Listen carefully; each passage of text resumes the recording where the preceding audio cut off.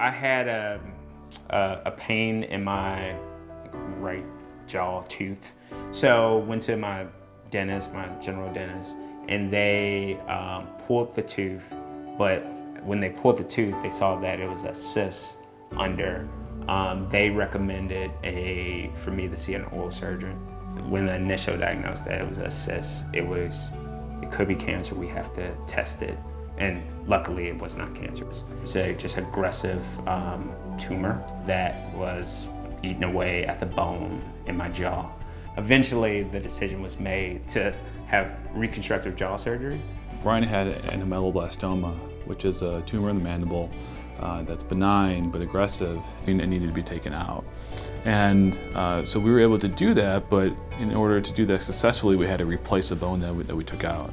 So our options were we can borrow some, some tissue or bone. In this case for Ryan, we borrowed it from, from the lower leg and transplant in Ryan and to reconstruct the jaw. Often patients like Ryan come in with a lot of anxiety from a procedure like this and that they're afraid they won't be able to return to their normal life, their normal daily activities, their job. Uh, Ryan is an active runner. He wanted to be able to dance at his wedding. He wanted to be able to speak at his job. Uh, he wanted to be able to get back to running. So it was scary, you know, I'm a big runner. This is kind of what I do to kind of let steam off.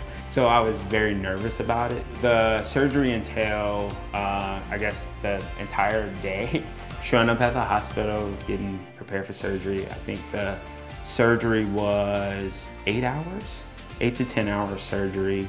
The recovery, I think, is pretty fast for such a major surgery and kind of issue. And I would say my life immediately after surgery, six months, was easily just back to the person I was, doing the things that I do. But it was a, a pretty fast recovery that um, honestly surprised me. I think people come to an oral maxillofacial surgeon to do this procedure because I think we're able to offer the full scope of the treatment.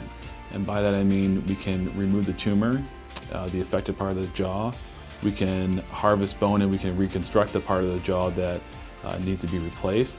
We can perform nerve grafting to return sensation to the lip and chin.